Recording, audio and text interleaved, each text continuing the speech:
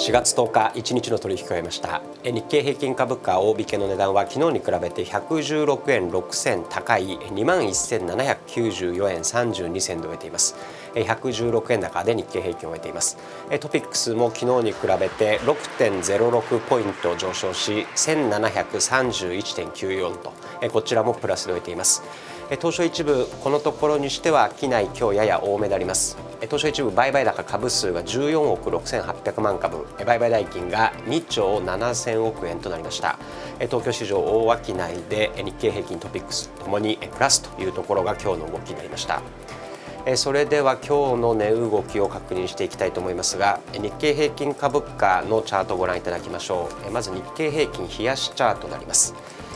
えー、今日の動きはこちらでありますね、まあ、上髭が長めの陽線となっています、えー、この緑色の線が25日線紫の線が5日線であります、えー、このオレンジ色、えなかなか届かないこの線が75日移動平均線となっています。日経平均株価今日は大引け段階では116円高と上昇率にして1%を切ったというのが今日の動きであります。今日はこのところにしてはやや激しい動きになりました。5分足チャートで今日1日の動き振り返っていきたいと思います。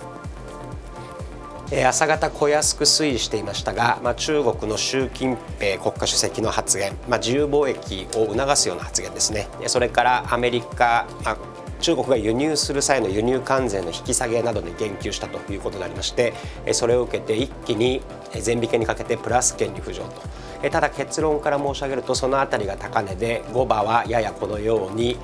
上げ幅を縮小した動きであります。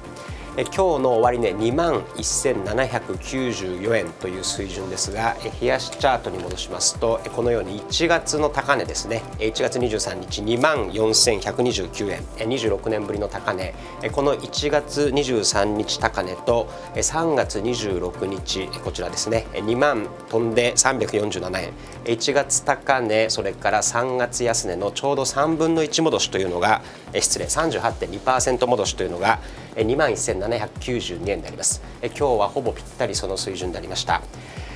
今週金曜日 S q 控えていますが何かそういうものを意識した、まあ、指数をいじるような指数プレーの動きが入ったのかもしれません。個別銘柄の値動き振り返っておきましょう、まあ、中国がま自由貿易に対してやや前向きな姿勢を示しているということで鉄鋼株などが動き始めています。こちら 5411JFE ホールディングスであります。まあ、鉄鋼株をめぐってはトランプ大統領が、まあ、日本からの輸入に公立の関税を課すという発表をしています。それを受けて鉄鋼株は足元冷やしチャートでこのように難聴な動きになりました。ただ中国が米国に歩み寄るような姿勢を見せているということで、まあ、世界的な貿易摩擦ですね、まあ、こうしたものが和らぐんではないかという期待感もあるようです。JFE は今日は3%高して終えています。同じように今日中国絡みで自動車株が強い銘柄が目立っています。7267ホンダであります。ホンダ日経平均が75日線遠い中このように日経平均にもうちょっとで届くというところまで株価水準切り上げています。ホンダは今日2.6%高であります、まあ、こちら中国が外資の企業ですね。要するに中国から見た日本企業などが中国で工場を作る際に日本の出資比率というのが限定されていますけどもこれを緩和する方向で動くと習近平さんが伸びたということです。この辺り中国で車の生産量輸出量が多いホンダ買われていました。一方で冴えない銘柄、まあ、情報通信ですとか薬品といったいわゆるディフェンシブセクターが冴えない動きとなっています。3938ラインであります。